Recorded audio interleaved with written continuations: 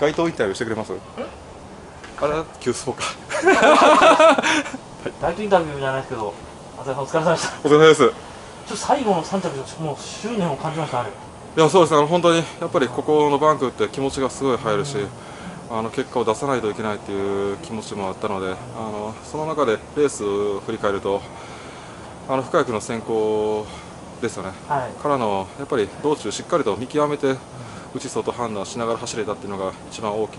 なところだし、まあ、冷静にレースを見れてたかなっていうところで、まあ、内に行ってたら三谷君とのかぶりがあったんでね、はいあの失敗してたコースだったと思うんで、まあ、しっかりとそ外を踏めるっていう判断をした結果が3着についてきたし、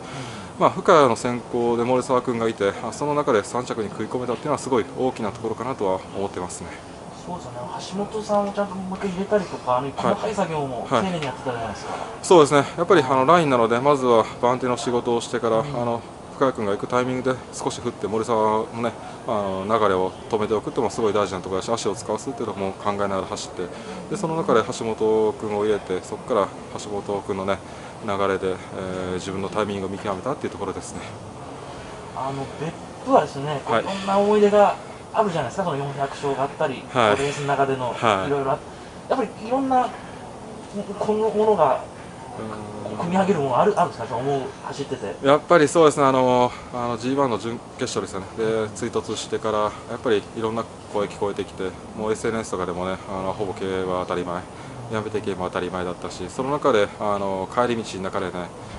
あの、すいませんでしたっていうツイートをさせてもらって、あの2、300件、400件ぐらいかなのコメントにすべて返信させてもらってね、でその中でやっぱりそういう選手を応援したいっていう声もいただいて。あの競輪ファンじゃない人もファンになってくれたっていうのもあって正直だからやっぱりこの別府っていうところはすごい思い入れのあるところだしもうじ自分自身をもう一回競輪にあの振り向かせてくれたりというかねあの向き合わせてくれたというかそういう場所でもあるし、まあ、その中で記念も優勝することができてあの400勝の、ね、式典もやっていただいてでそこでまあ、今年別府 F1 優勝させてもらって、まあ、そういう、ね、いいところもやっぱり見せるっていうところも大事だと思ったんで見せることができてやっぱり嬉しい気持ちになってるしもっとねあのビッグレースであの活躍もしたいんで、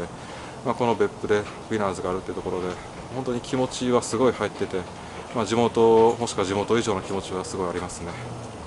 ちょっと大事な、より大事な大会とお見受けしたので、ちょっとどうしても聞きたかったんですよね、これ。あー本当にファンって大事だなって思えるし、競輪ファンじゃなくてもね、僕のファンじゃなくてもあのファンになってくれるようなレースをできればいいなと思って、最後は気持ちを込めて走ってますね。はい